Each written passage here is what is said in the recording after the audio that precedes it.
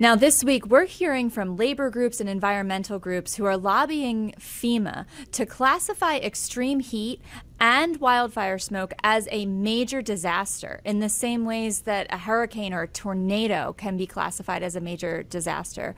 So, Paul, I'm wondering from your experience as a meteorologist, how does extreme heat compare in the effect on human populations to things like blizzards and hurricanes and wildfires?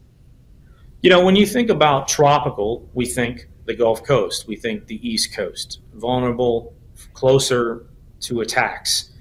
Uh, we don't think about it so much on the West Coast, right? And we don't think about it in Canada. We don't think about the middle country. But they have other issues. Uh, the West, of course, wildfire, air quality can be very, very poor and very hazardous uh, for many out there. That's their extreme. I think it really depends on the area of the country, the area of the world that you live in, where these extremes, putting a standard for everyone, saying that you know wildfire in the southeast uh, is worse than being hit by hurricanes, tropical storms, is probably not the case. Um, yes, we can get wildfires in the southeast, but is it to the extreme as a hurricane or tornadoes, like in the plain states? I, I think that it is an extreme and it should be brought out because there are parts of the world and parts of our country that are affected much harder on certain extremes than the other. And I think they should be all looped together. But I think it should be on a regional basis. I think they should divide it out on how they want to approach this as far as hazardous warnings. To what degree do we put out a warning for these areas? And I think that all has to be looked at.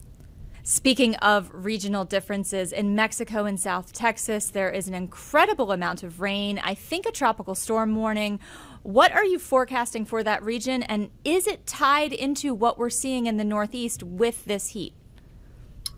Uh, you know, what we're seeing right now is uh, we have it named as a tropical rainstorm. It hasn't been officially named a tropical storm or depression at this point.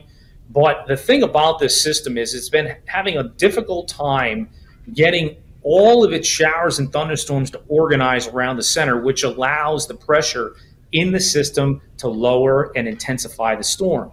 And as long as that continues to happen in the short window it has in the Bay of Campeche before it can go into Mexico, um, it's going to make it difficult to be organized. But besides whether it does develop into a tropical system, it's like you said, it's producing a deluge of rain into an area that's been very, very dry. Now, they'll welcome that.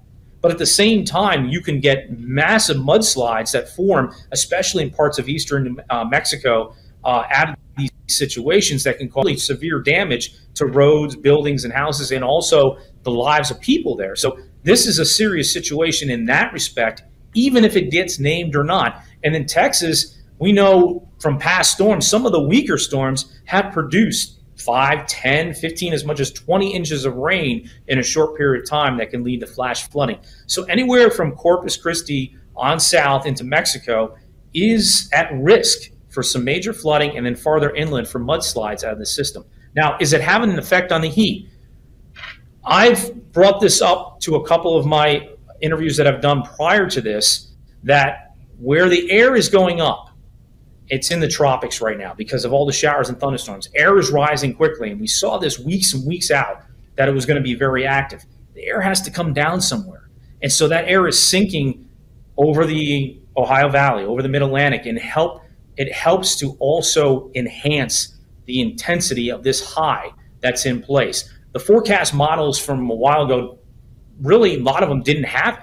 They didn't know how strong to make it. But knowing those ideas and knowing the physics wrapped around this as a meteorologist, we felt that this high would be strengthened based on what was happening down in the Gulf, what was happening in the Caribbean. It's had an, a, a some effect, maybe not totally the entire effect, but it has had some effect.